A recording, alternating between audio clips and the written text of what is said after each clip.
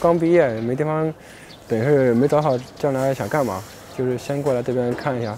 早上七点半到下午四点半嘛，一天八个小时，上完之后一天可以加两个小时班，加班下来最少也是在最少三千五。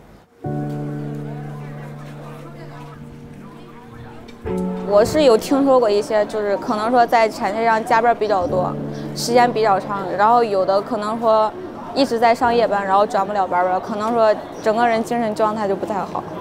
不过我也是，那那刚才那听说的话，上夜班上的时间有点长，有的说上好几个月了，那有点顶不住。但是他们工资高，确实挺高的。能拿多少多？嗯，估计有五千左右吧。晚上上夜班，你白天你休息不好。白天宿舍你人又多，你白天宿舍十个人，有上白班夜班的，来回反正你就睡不着。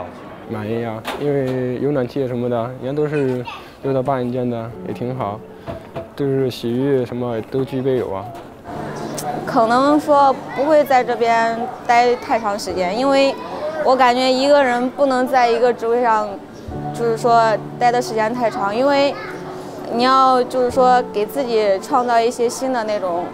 什么，呃，工作经历啊啥的，估计也就到明年，因为要走了之前，可以先学习一点。如果真想干手机行业的话，肯定要多加多加了解。有人到外面，他有老板也给不了工资，压你多长时间给不了。像富士康是每月照开工资。